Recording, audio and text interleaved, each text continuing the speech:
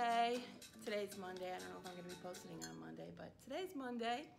Uh, had a great weekend. Um, I wanted to talk to you today about motivating you. I mean, we do a lot of Monday motivationals, but also I wanted to talk about how we interact as a community. Um, I suggested a, uh, about two weeks ago about doing a critiquing, and um, critiquing is takes a little bit of bravery in the public arena. Um, it takes a, a, lot of bravery in the public arena to put your own artwork out there, so um, I'm very um, proud of this young lady that um, sent me some work to critique.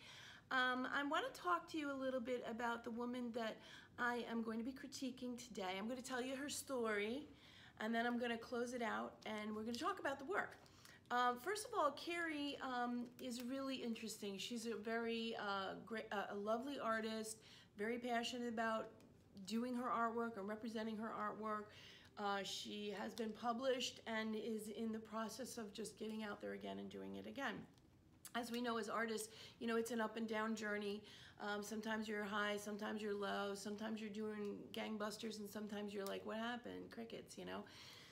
Um, so let me just tell you the little story about Cari. Uh, I met her about a couple months ago at an art uh, get-together and uh, kind of a networking with artists. And um, I, she's interesting. And she contacted me later, and we were talking about what I do. And um, and she, she's been following me, and she liked the idea of doing a, me critiquing her work. So let me tell you about her. Okay, so just going through her regular life, um, she met somebody and fell in love in 2009. This was she considered her soulmate, somebody she just was passionately in love with and um, she started painting and, and just really expressing herself through her painting. I, I, got a little recognized and then the relationship broke up in 2012. Um, and she just stopped painting, like she completely stopped. Uh, not really sure why she stopped, but maybe uh, it's a projective thing, which we'll talk about in a minute. I think um, when uh, artists mostly work through their emotions, through their heart, uh, through their uh, how they sense things, and um, she to protect herself from the emotions she was feeling, she maybe just shut. She had to stop that. She had to shut that down. Um, in 2017, she started back with this person again, and again picked up the paintbrush, started painting again. So now she's seeing, okay, this is related. Um, the relationship ended again and she stopped again and she said maybe i'm just impractical uh, maybe i'm just i'm an illogical impractical individual. So she went out and got a job. And she put all of her uh, passion into the job. She worked very hard maybe too hard and she got fired. Why? We don't know. Um, she said it was interesting. It wasn't such a terrible thing. She said it was mostly, I want to read what she said. She said, as she's walking back to her car, she said, well, obviously the universe or God is trying to tell me something. So she says, so now I paint for my muse, I paint for my love, I paint for my God, and I paint for the universe. That's a very deep statement, and I like that she made that statement because she then said, it's for me.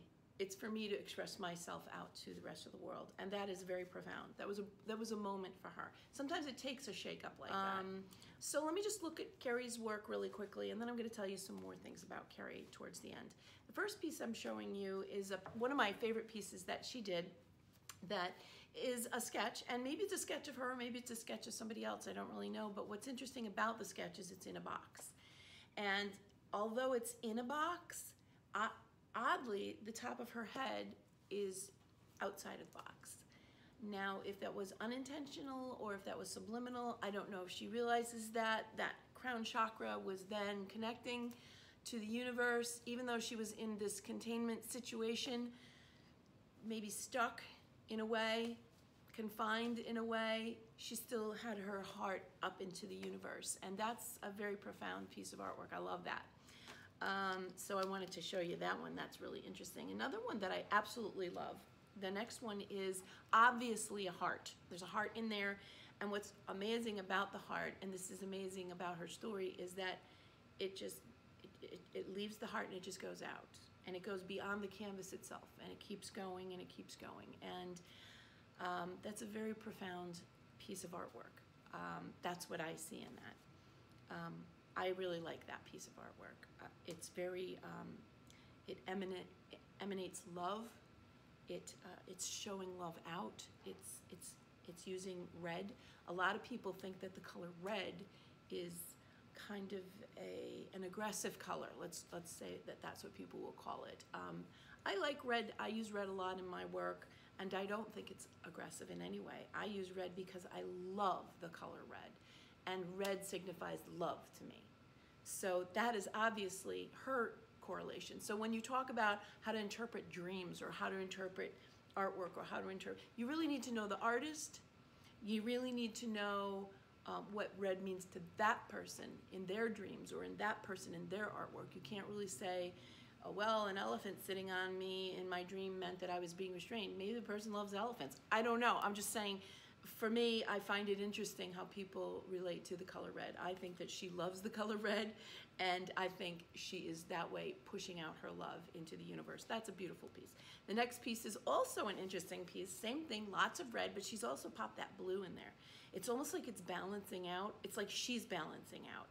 So although to me this is a little manic in the sense that there's lots of thoughts, lots of things going on in the piece, um, it's, it's beautifully balanced actually uh, by the blues and greens with the oranges and reds and yellows. So the warms and the colds are beautifully balanced. So it's an interesting piece. Also goes beyond the borders of the canvas itself. So it's pushing out. It's pushing out. And I, I like that.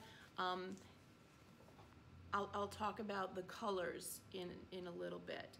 The next piece I love um, this is interesting because interestingly, although it's done on paper, she's confined. She's confining herself into this shape. But the movement within the shape is soft, and although there's little points, it's not like they're making points of an end structure. They're making points to go on to the next thing. So that shows me that she's moving through her process and she's keeping it to herself. She's keeping it in her own mind.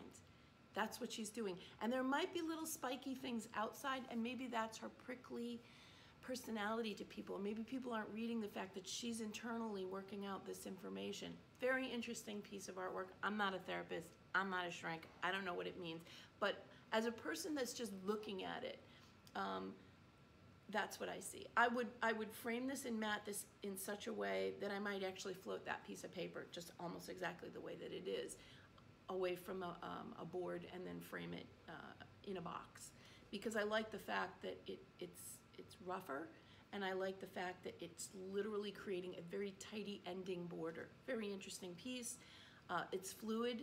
It's got great fluidity throughout the piece. Again, beautiful balance of color. She's working color throughout the whole piece. This takes a lot of thought. But I like the fact that the thoughts are fluid and they're moving smoothly, not stops. There's no stop other than she's not allowing it to be outside of herself. In other words, in this piece, all that fluid thought and all that fluid um, working out of issues is being kept inside of her. She's not sharing that with the rest of the world. And maybe the things that come out in the rest of the world might have little spiky points from time to time. Maybe those things are hurting or spiking or barking at somebody, but she in her, inside of herself is working out these things. She's working it through. I love that piece. Um, you know, I want to talk about other fine artists so that you understand something. Um, you know, Kandinsky, uh, this piece here with Kandinsky also uses colors. He uses it in a more um, also cool and, and, and warm and cool tones balancing each other out, but also bright colors. Um, then I have a Jackson Pollock piece. Um, and you can see this is also a heavy, heavy duty thinking piece. Um, lots of movement of thought. This is, this is a staccato concept of thought. Um, and the next piece I want to show you is Gino Savatini. Savatini. And um, this is structural. It goes beyond the canvas, but it is structural. Um, sharp points, edgy, sharp thought, a very thoughtful piece. And then the last one is Al Held. And this is also primary colors. So the reason I'm talking about primary colors is because this is what Cari uses. She uses a lot of her primary colors.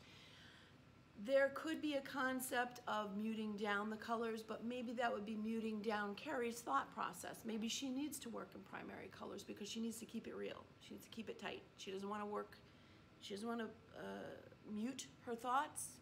She wants her thoughts to be sharp.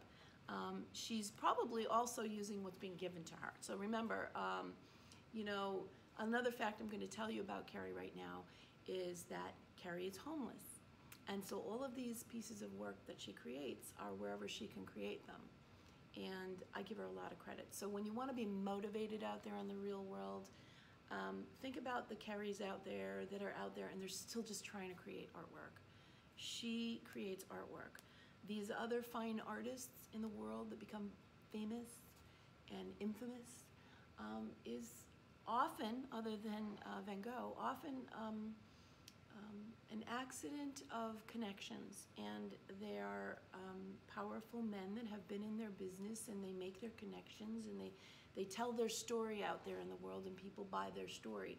You know, Cari's working through her story in her pieces of artwork. And uh, I just, I think it's really important for you to understand that an artist needs to express themselves. So when you think you're having a bad day, other people have a bad day too. And some people, even though they're having a bad day, are still creating artwork. Another point that's very important about Cari that motivates me on a daily basis is that her sister uh, died several years ago. She committed suicide. And this is Suicide um, Month, Prevention Month. And um, this motivates Cari. Uh, these thoughts, these things are, these, these stresses, these emotional pressures, um, these are things that are creating her thought process. And what's through all of it that amazes me is that she still works through love. She still is loving her work. She loves to show love to the rest of the world. She loves to um, put that out to you. Um, so I give her a lot of credit. Um, a lot of people are fortunate enough to buy the latest equipment, paints, pastels, canvases, you name it. They're, they have the, uh, the funds to afford these things, but some people don't. So they still need to create it. They still need to tell their story, and I love that. So I just want to say, you know, don't let anything slow you down. Don't let anybody tell you that you can't create what you need to create.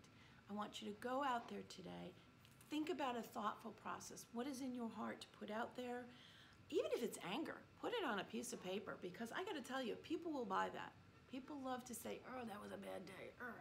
And then they relate to that when they see it on a wall in a gallery or and they see it on a wall in a store. They see it on your website.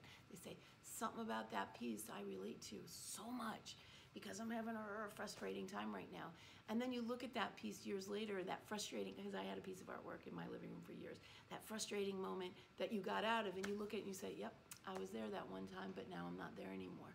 So um, I just want to motivate you with this wonderful story of this great woman. And, um, you know, check out, she's on YouTube also. Um, I'm not sure if she has a website, but she's on YouTube, and I'll post the information down below. Please share this uh, story, um, like, and subscribe for more videos. Thanks for watching.